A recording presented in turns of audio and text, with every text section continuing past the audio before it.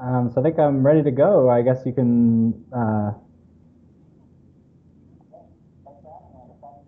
Sorry, say that again. Share your screen. Thank I, all right, let me. I gotta share the screen and start the presentation at the same time. A little bit complicated. All right, uh, can you see that now? Okay, perfect.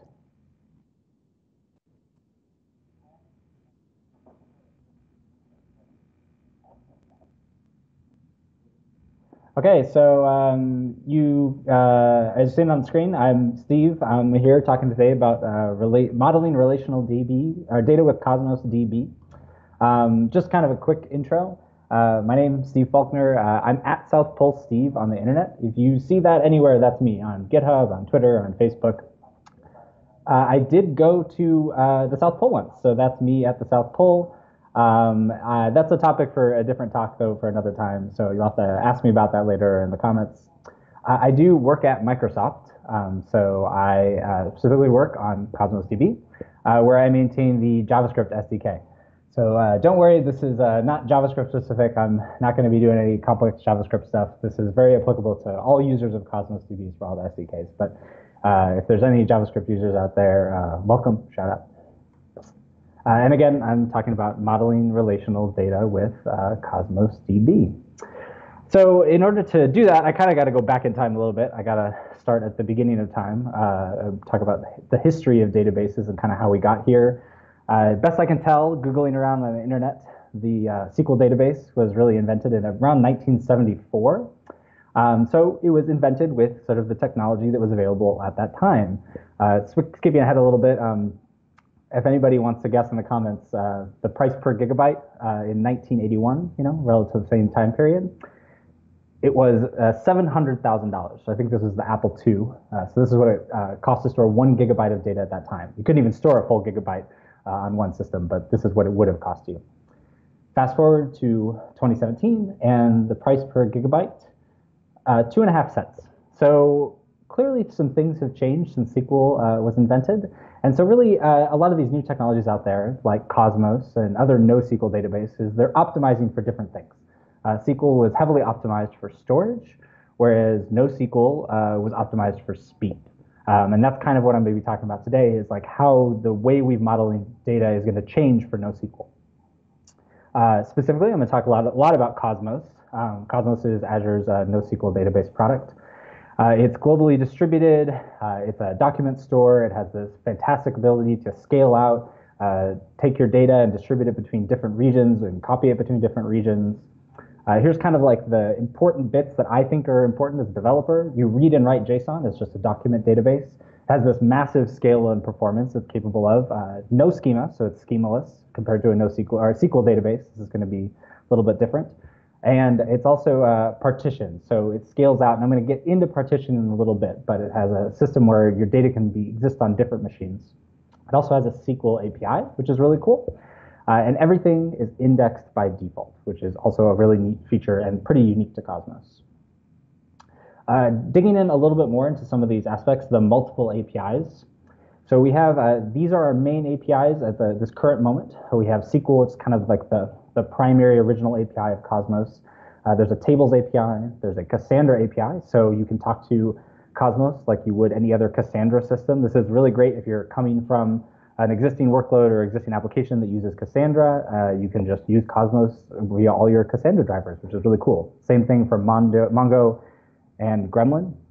These have been built on the open source tools that are already out there, so you can use all of our driver or the open source drivers and existing uh, database SDKs for talking with those tools. We also have some cool things in the works. Um, I believe this just hit public preview, Jupyter Notebooks, uh, as well as Spark is on the horizon uh, and etcd as well. But today I'm really going to be focused on the SQL API. Um, I'm going to be talking about how to do relational modeling there. Uh, it's kind of the one that frequently gives people the most uh, hiccups.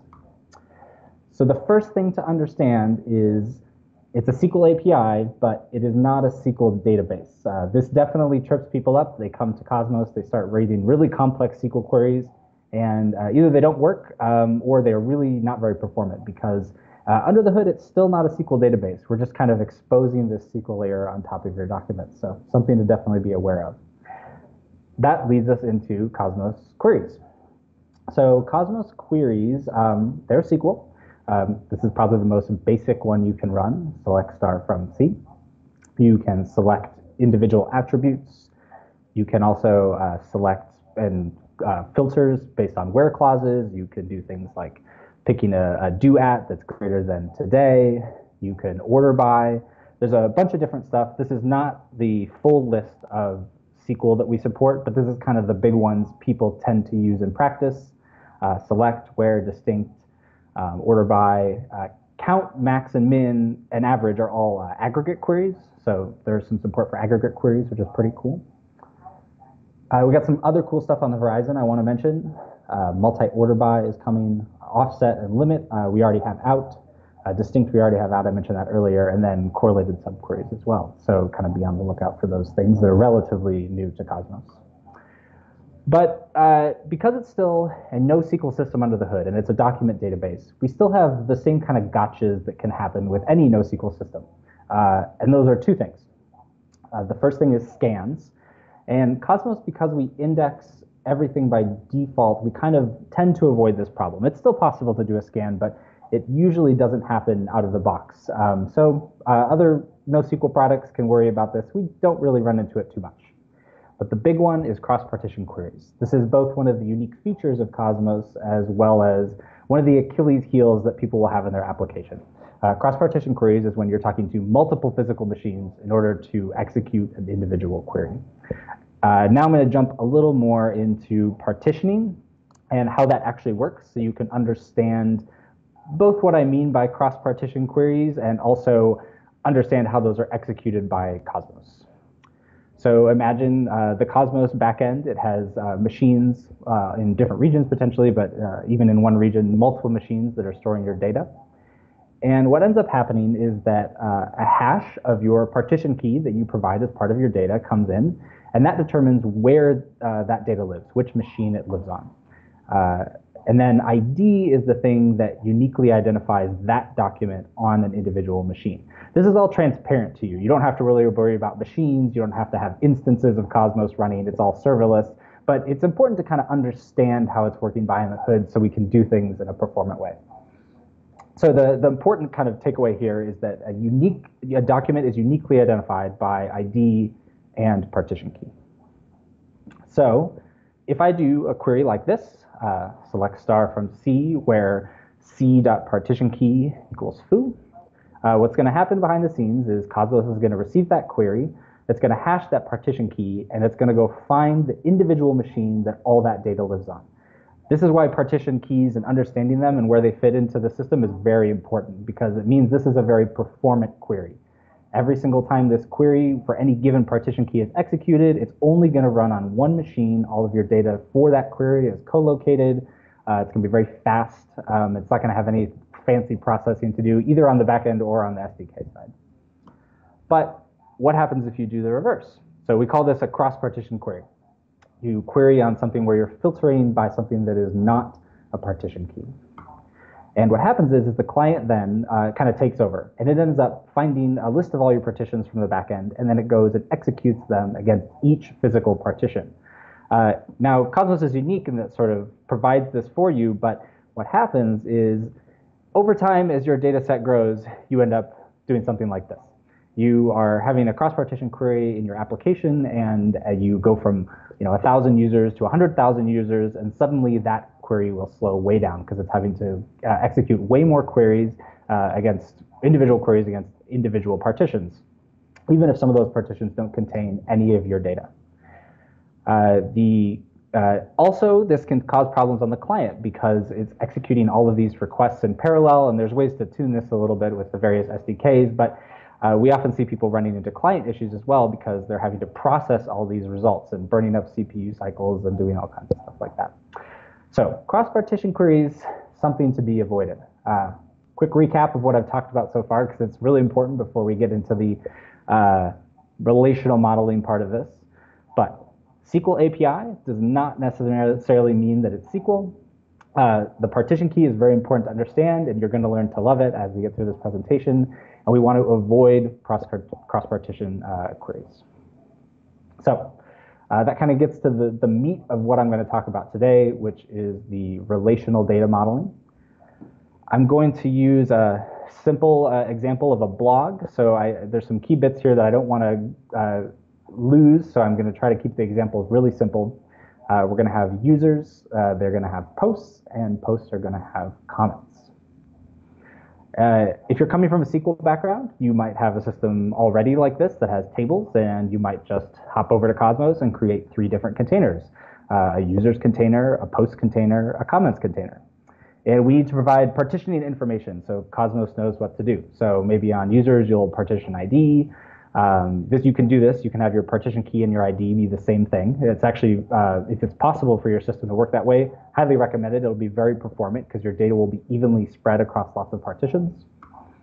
Maybe on posts, we would partition on user ID in order to figure out, um, you know, like all the posts for an individual user. So we could provide that in order to just query an individual user's posts.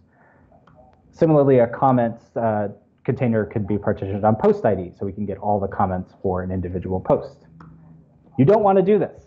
I have misled you um, probably over the last 15 seconds. This is not at all the uh, approach that you want to take to modeling data in Cosmos. And it's tricky because this is sort of the reverse of uh, how you were taught to model data, especially coming from a SQL background. I mean, it's how I was taught to model data when I was doing a lot of Postgres work. Um, and it took me a while to understand that this is actually an anti-pattern. Uh, and I, am going to go into why before I sort of talk about exactly how we should be doing things. Uh, there's a lot of cross-partition queries that will crop up here, right? That's why this is going to be a problem. Uh, let's look at one example. Uh, our posts, they are partitioned on user ID. Imagine if we want to find one post. Well, how do we do that? Uh, we only have the post ID, we don't have the user ID. We don't have enough information to uniquely identify that post. It's still possible with Cosmos to make this query, but the problem is, is it's going to result in a cross-partition query. It's going to, if you have hundreds of thousands of posts that are stored across several machines, it's going to talk to every one of those machines in order to find an individual post. And you can imagine that that would be very uh, slow as well as problematic if you have users who like are coming to your blog and they come right to a post page and they don't have user information and you don't have user information and you just need to find a post by ID. Um, this is the kind of situation you'll run to as you become your wildly successful blog becomes successful. You will have this problem. Uh, comments. Uh, another example of where we're going to run into cross-partition queries. Uh, we decided originally to partition it on post ID. Uh, it seemed to make a lot of sense at the time. Uh, we we still can't find an individual comment. Has the same problem as posts. But what if we want to find all the comments where uh, that belong to a user, right? We might want to give them ability to see that on a page or edit the, uh, you know, a list of comments or see a list of comments even. Uh, these are all going to be problematic, and it's because we sort of brought this SQL style thinking, um, which I, I kind of like. There's a lot of things that, that go into SQL style data, data modeling, but uh, in my opinion, these are like kind of the critical bits to understand. Uh, we in SQL we rely on databases to drive the schema or to store the schema information. Uh, we normalize our data, so we want to keep only one copy of it uh, when at all possible.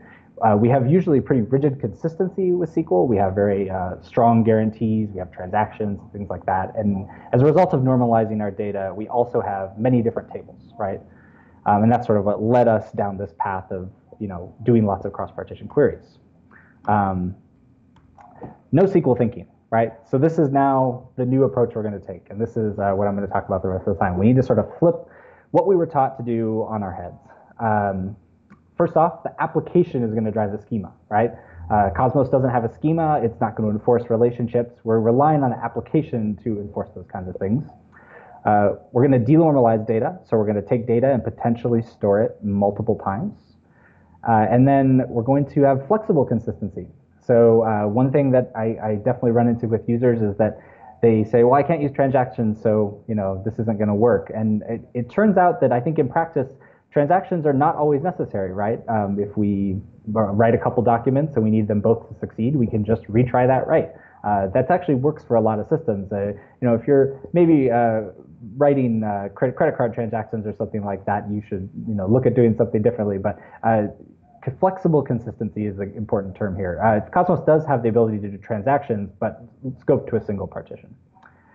And uh, lastly, we're going to start with a single container. We're going to put every single piece of data into one single container. It's going to look like this. Uh, and I'm going to sort of explain how this is going to work here in a minute. But uh, our data is just all going to live in our data container. And our partition key is just going to be partition key. Uh, I've sort of uh, taken it and uh, shrunk it down to just PK everywhere to help stuff fit on slides. But uh, you can really use whatever you want to call it here, like underscore partition key, uh, PK is fine too. It, it really doesn't matter, and Cosmos will let you set whatever you would like. So let's go back in time now and revisit some of our things, some of our things, and how we're going to model them in Cosmos. So uh, finding an individual post. This was problematic before as it was causing a cross-partition query. And what we're going to do is when we create a post, we're going to do what we did for users. We're going to store the ID and the partition key as the same value, right?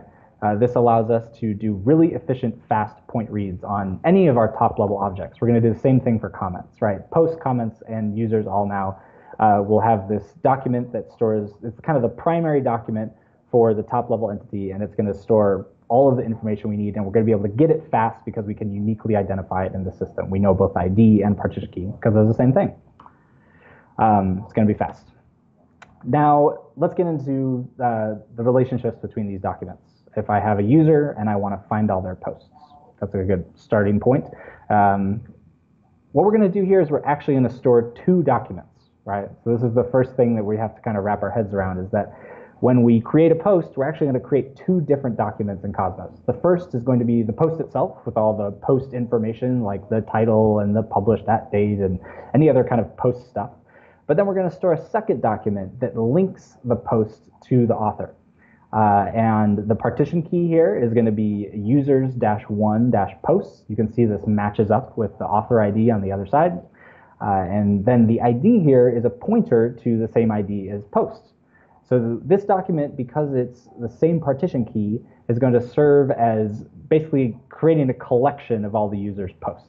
So we're storing that information kind of in two places, right? Um, we're not relying on the database to maintain that relationship. We're doing it at the application level. Uh, if I created three posts, you can imagine that I would create three documents that look like this, all having the same partition key, but then having different ID uh, pointing to the kind of full post document. So now uh, when I do this query, I'll do select c.id from c where partition key equals user-1.posts. And the important thing to understand here is that uh, this is providing the partition key information, so we know that uh, going back to our kind of previous uh, example of how Cosmos is handling this on the back end, that query is going to execute against a single partition, right? We know it's not going to go across partition. And this is sort of the beauty of this style relational modeling is that we might end up doing um, more queries uh, because we don't have joins and things like that, but all of our queries are going to be very efficient and very fast because they're guaranteed to either be point reads or they're going to execute on a single machine. Um, so this is what the return value would actually look like. We get an array back of all the post IDs, and then we might go fetch those posts individually in parallel in order to get more information from them. Um, let's expand a little bit more. So if I um, want to find a user's posts that are in the draft state, uh, I'm going to do the same kind of thing. I'm going to create two different documents when I create a post. And I'm going to, again, duplicate information. So before I'm sort of duplicating the relationship information, now I'm actually duplicating information that belongs to the post. So uh, this state uh, I'm going to store in both places. And what this allows me to do, again, is have a query that is scoped to an individual partition key and the state information I can also query on because I know that that's going to execute on one single backend partition. Uh, there's a gotcha though, right? So if we do that when we create the post, anytime we update the post, we also have to update both pieces of information in both places. So this is sort of where it gets into like the application becomes more responsible for maintaining the data consistency and the data integrity, right? You're, you're trading speed for having forcing your application to do a little more work. And this isn't a bad or a good thing. This is just a trade-off, right? And it's understanding these trade-offs where you decide for your application what makes sense to do. Um, now, uh, let's do something like a little more complicated than that even. So what if we want to find a user by an individual email? Right now, uh, this would be a cross-partition query. We would only, only way we can uniquely identify a user is by ID. Uh, again, we're going to store information twice. We're going to have two documents. Uh, the first one is going to be the actual user document with all the information. And the second one is going to be uh, using the partition key almost like a secondary index, right? So uh, I would store my email in there um, in the, the, a composite way so that the partition key is uh, user dash email dash my email. This is actually not my email, just to be clear. There's some other Steve before me at Microsoft apparently, so I couldn't get it. Um, but uh, this is important to understand here that this is like allowing us to use use partition key as a secondary index on these attributes. So I can now, uh, instead of doing this, which is a cross-partition query, right, uh, select ID from where c.email is Steve at Microsoft. Uh, now, if I do this query, I can actually do it as a, a, single partition query, and then I don't have to worry about, you know, uh, like that query taking a long time. There are definitely other things you can do. Um, I've sort of just touched on the very basics today, but I think it there's a lot to take away there because it, it really sort of requires you to like reverse your thinking about how to store relationships and databases. Uh, but there are some more advanced techniques. Um, using change feed, uh, what Santosh talked about earlier, is a really good example of how to kind of do more advanced things here. You can use Azure Functions plus the change feed in order to update documents later um, and sort of propagate out some of these changes to documents. You don't have to do them all right uh, in your application or like all at the time you're writing the document. You might lazily update some information in other parts of your database. Uh, materialized documents are something we really didn't cover on, but you can take documents and sort of materialize examples of them. The best example I think for a blog is if you wanted to have like a truncated version of the blog, maybe a little summary that showed up at the uh, like beginning, we could potentially store this separately from the regular blog information, and we would use Azure Functions to generate this truncated version of the blog every time somebody updates it.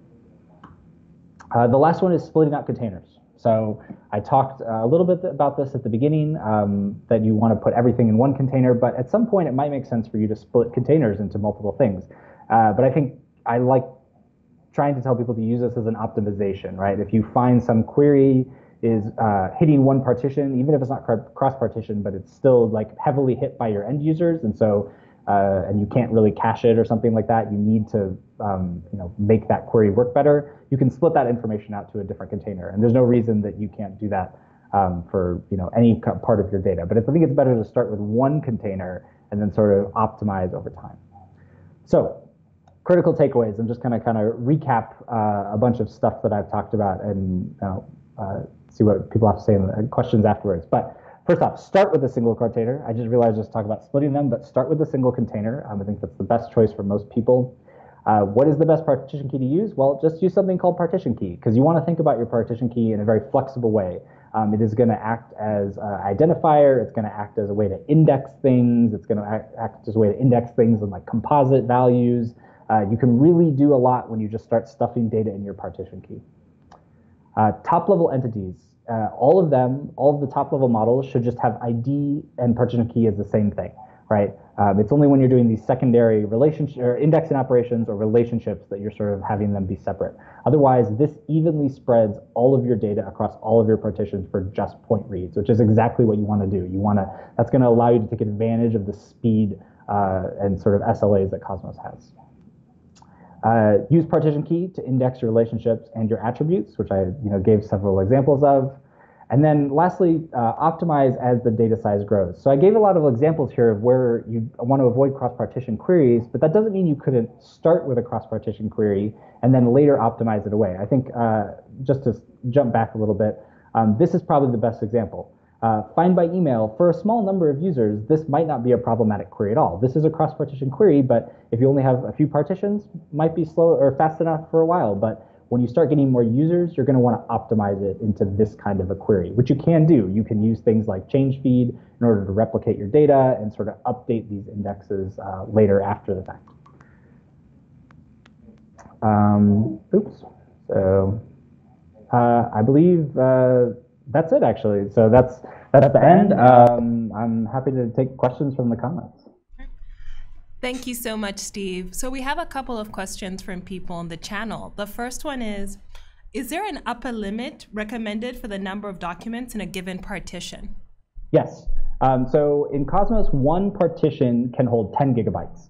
And if we, and, and one of the beauties of Cosmos is it will sort of handle that behind the scenes for you. It will split partitions um, in order, in you know, move documents between them and stuff like that, which is really cool. But you still can only hold a maximum of 10 gigabytes in a single partition.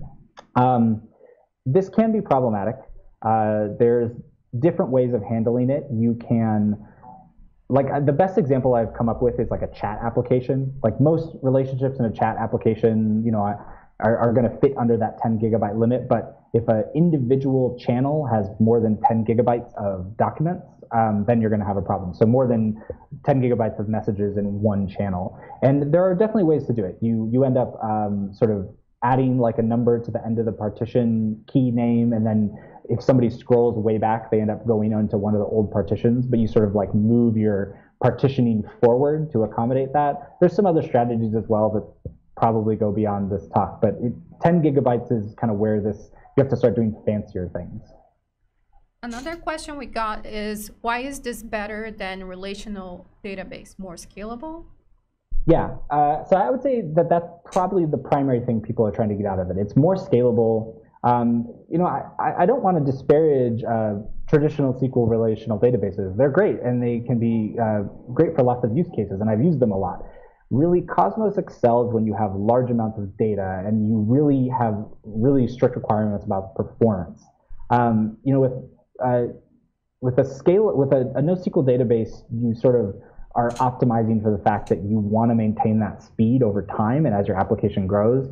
Versus if you have a SQL database and suddenly your application grows to the point where it needs to be sharded, you're going to have all these same problems because you're going to you're effectively partitioning your SQL database and you're going to have to work through all these problems anyways. So for small applications, SQL is great, but as you sort of scale, it's very uh, the the um, what do I want to say the Cosmos really shines when you get to those upper levels.